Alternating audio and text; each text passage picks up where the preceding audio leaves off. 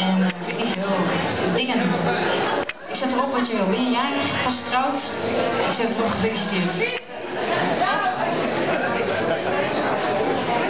Nee, ik doe vandaag heel Nederlandstalig als het ware. Ik wil een Nederlands liedje doen. En het heet Daar waar jij wil zijn.